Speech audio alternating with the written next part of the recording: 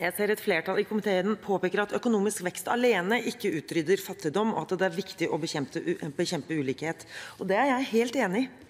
Viktigheten av inkluderende vekst står vi sammen om når komiteen legger vekt på at land må ha fungerende skattesystemer og institusjoner på plass som sikrer at økonomisk vekst kommer befolkningen til gode og bidrar til velferd. De tematiske satsingsområdene helse, utdanning og næringsutvikling går hånd i hånd for en bærekraftig utvikling i og av fattige land. Tilgang på rimelige helsetjenester til alle, inkludert seksuelle og reproduktive rettigheter, eh, er sentralt, og det gleder meg å høre utenriksministeren si at dette også skal styrkes. Det er bra at Norge fortsetter å øke sin innsats for global helse. Dette er en forutsetning for et annet viktig gode, nemlig en god grunnutdanning til alle, med særskilt fokus på kvinner og jenter, som denne regjeringen har løftet. Grunnen til at det samtidig er så viktig med næringsutvikling, er at jeg ser at det nå finnes flere land der fokuset på jenters utdanning har begynt å få effekt. Men da er det så viktig at de, det finnes jobber de er kvalifisert for i andre enden. Gjør det ikke det, er det fare for at vi får et skifte i holdningen til nødvendigheten av å gi jenter skolegang. En av de viktigste følgeeffektene av at jenter går på skole, er at vi ser at det ofte reduserer forbrytelsen barneekteskap, og at jenter som fortsatt er barn, også føder barn. Jeg er veldig glad for at utenriksministeren så raskt responderte på USAs kritikkverdige reduksjon av støtte til organisasjoner for seksuelle og reproduktive rettigheter.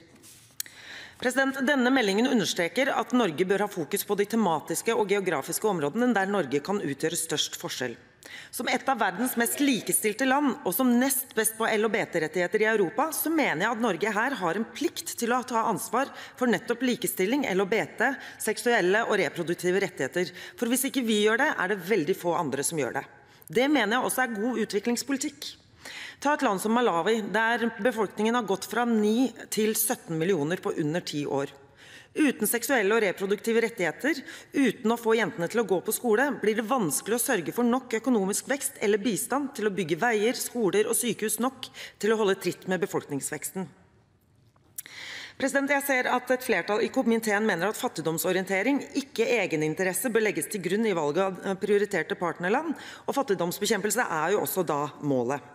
Men jeg har lyst til å sitere tidligere utenriksminister Jonas Gahr Støre, som i 2009 sa sitat, «Vi vil føre en aktiv utenrikspolitikk som legger vekt på norske interesser og er med og tar globalt ansvar.